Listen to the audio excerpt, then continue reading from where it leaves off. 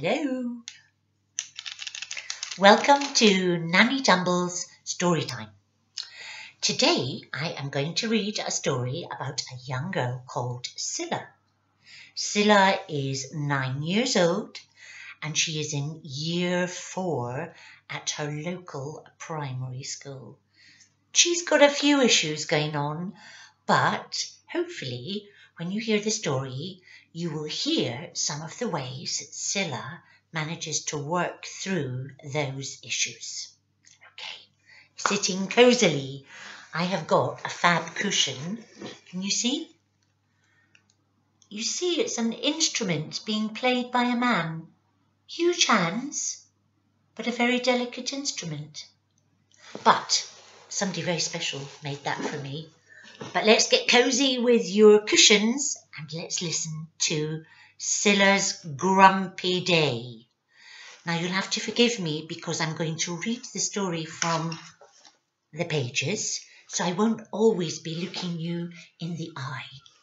Let's begin. Cilla's Grumpy Day, Chapter 1. Relief flooded over Cilla. Nanny Tumble was there on the playground waiting for her. Neither Cilla nor Nanny Tumble waved. But the huge smile on Nanny Tumble's face comforted Cilla and raised her spirits.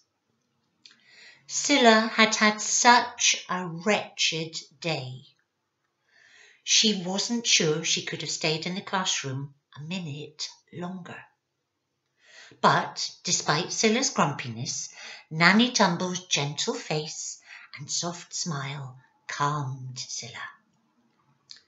Nanny Tumble had stopped waving to Cilla weeks ago, and although they had never discussed why, Cilla was sure that Nanny Tumble sensed that waves and hugs in front of all the other children might embarrass Cilla.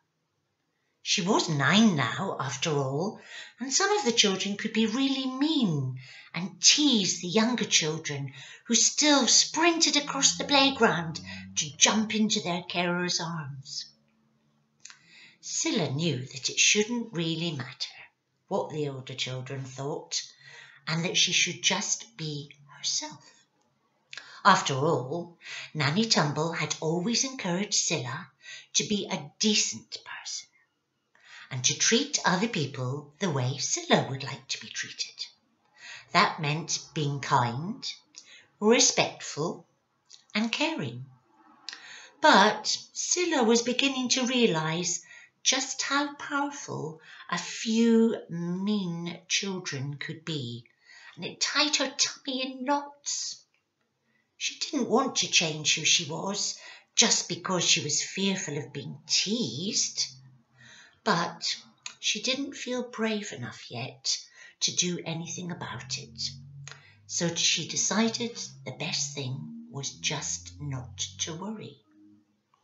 Anyway, worrying only gave you wrinkles. Chapter 2 Cilla was silent on the walk home from school. She was glad that Nanny Tumble wasn't one of those people who felt compelled to fill silences with monologues of the mundane. Oh, isn't that a cute puppy? Mmm, that lady has nice hair. And the hitter finale question, Did you have a good day, dear? Cilla felt her head was about to explode so many thoughts swirling round and round like lava waiting to erupt from a volcano. She knew she had to sort things out in her head, and no doubt Nanny Tumble would gently grill her over supper. Everything seemed to have gone wrong today. From the moment she hung her coat on her peg in the cloakroom she was ambushed by their TikTok club. Bella, Sophie, and Meg. Cilla was only permitted to use the computer at home for learning. and she had no idea what the girls were exclaiming over. They always giggled and played with each other's hair. But the worst thing was that they would stare at Cilla. What you looking at, pretty Priscilla? Cilla knew that she could speak to one of the adults at school about the girls, but so far she had just smiled, rather foolishly, she felt, and turned away. They didn't seem to bug her any more when she did this, and she felt that for now she would just let things lie. Maths had bored Cilla to tears. They were doing long division. And although Nanny Tumble had taught Cilla how to do the bus stop method in year three, the teacher still wanted everyone to chunk. Chunk, chunk, chunk, until you can't chunk any more because you have nothing left to chunk. But what about remainders? Cilla thought. She knew better than to put her hand up and ask, because although Cilla was in the top group for maths, she knew her teacher would say, Cilla, would you please just use the chunking method?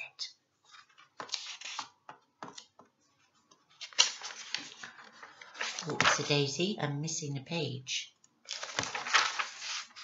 Cilla had nearly cried at PE she wasn't at all athletic, and she was never picked for the baseball teams, even when her friends were the team captains. Cilla pondered. Does competitiveness win over friendship? She had concluded it must, but it still really hurt her feelings. The PE teacher had ended up making Cilla his helper. Maybe he felt sorry for her but she hadn't worked it out yet.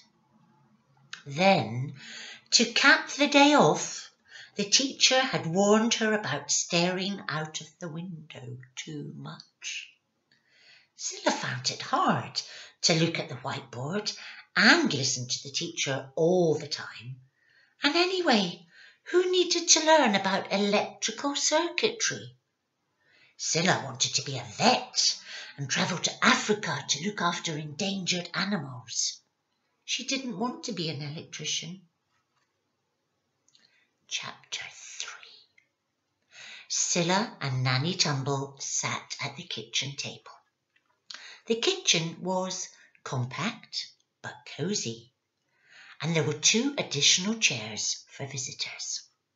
When cooking, Nanny Tumble would laugh out loud and say, it's only a one bottom kitchen, you know, Cilla.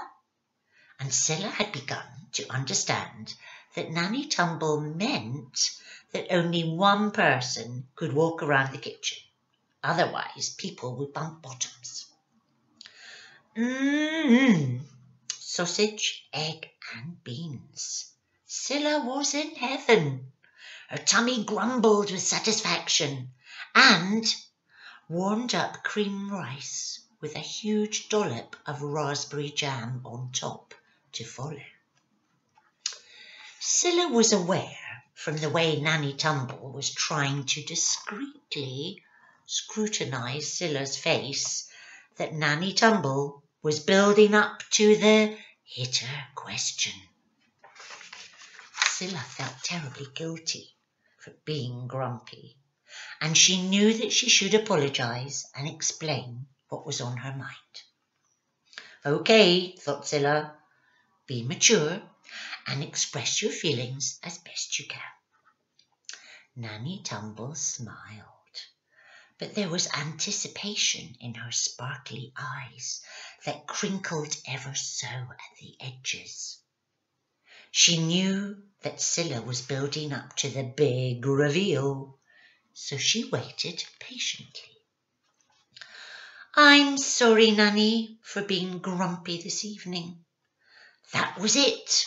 Once she'd spoken those crucial words, Cilla launched into her account of all the challenges she had faced that day just like a rocket, soaring into space with its engines flaming, dispersing pollution across the universe.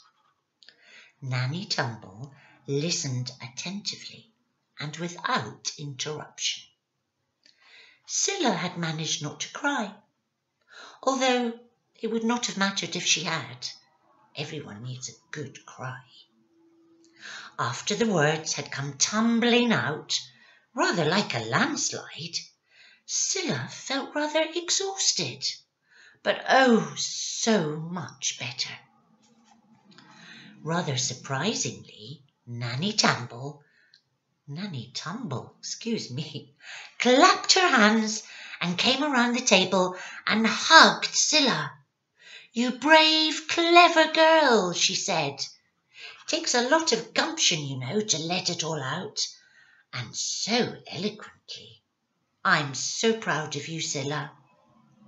Once you recognize your emotions and understand that and understand what has made you feel the way you feel, only then can you tackle your challenges. Well done, Cilla. Now, how about helping me clear the table and then what about some chunking homework? Nanny Tumble and Cilla roared with laughter. Later that evening, Cilla sat up in bed and unscrewed her Russian dolls. She loved to talk to them and imagine their soothing words. Look up at the sparkling stars, Cilla, and dream, dream, dream. Cilla snuggled into her pillow. Tomorrow was a new day. And so the end of Cilla's grumpy day. She managed to go to sleep nice and calm and just wishing she would dream and dream all night. So, in Cilla's grumpy day, we didn't describe what Cilla looked like.